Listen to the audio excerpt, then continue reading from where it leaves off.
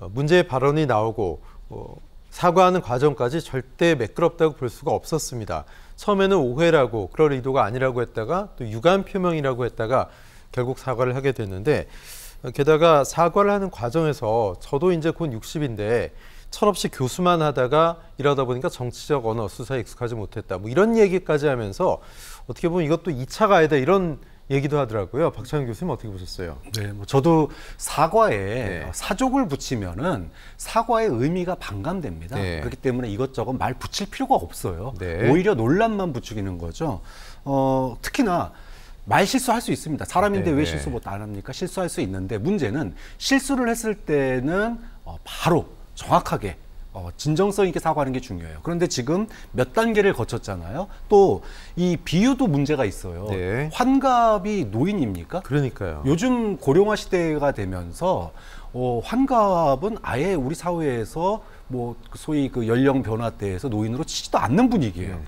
이 얘기는 뭐냐 하면 민주당이 고령화 시대에 대한 전략이 있냐라는 겁니다. 네. 환갑 이후에 소위 60대를 넘어가는 이 초노의 인구들에 대해서 민주당의 혁신이라면 거기에 대해서 전략적 사고를 하고 발언을 해야 돼요. 음. 그런데 저도 이제 환갑이라 노인층에 들어가는데 뭐 폄하를 하겠냐 이 얘기는 소위 말해서 60으로 5말 6초를 넘어가고 있는 그 세대 그 세대에 대한 전략적 고민이 없는 그냥 말이거든요. 예. 자 그렇기 때문에 지금 사과의 진정성 문제는 고사하고 혁신이가 전략적 사고를 하고 있는지조차 의심스러운 대목이라는 네네. 거죠. 이렇게 보, 보면은 어 참 진정성도 논란이 되는 거고 그 다음에 혁신이의 지금 핵심적인 고민이 어디 있는지도 사실은 예. 어, 오가 온 오간 온데간데 없어져 버리는 이런 모양새고 무엇보다도 혁신이에 대한 기대감을 갖다가 확 낮춰버렸기 때문에 네. 굉장히 저는 이번 말실수가 문제가 아니라 뒤에 예. 수습 과정이 더 큰 문제였다라고 봅니다. 민주당의 지금 뭐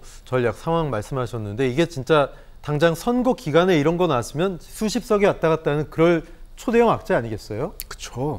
어, 사실은 아까 뭐 김대현 평론가 말씀하셨지만 네. 음. 민주당 DNA에는 2004년 정동영 당시 열린우리당 의- 의장의 네. 이 노인 폄하 발언에 대한 이 후폭풍 네. 그것이 뼈저리게 지금 남아 있어야 지금까지도 되거든요. 악령이 들여온 거죠. 그럼요. 그만큼. 지금 벌써 네. 20년 가까이 됐지만 예. 그걸 잊지 못하는 사람도 굉장히 그렇습니다. 많습니다. 그런데 혁신을 하겠다고 그랬잖아요. 네. 혁신이가 왜 출범했습니까? 내년 총선을 앞두고 소위 말해서 음. 중도 접근성, 확장성을 가해야 된다라는 것 때문에 혁신이가 출범한 거예요. 네.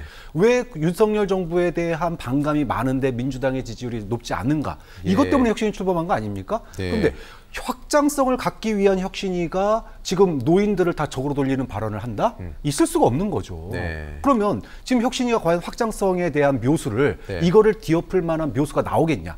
지금까지도 존재감이 없던, 없던 혁신인데 예, 예. 이렇게 사과까지 단계별로 해 가면서 과연 비장의 한 수, 확장성을 가져올 비장의 한 수를 꺼내놓을 수 있을까? 예. 좀 이런 점에 있어서 굉장히 어, 좀 이제 혁신이의 어떤 근본적인 예. 의문을 제기할 수밖에 없는 상황이 온 것 같습니다. 예.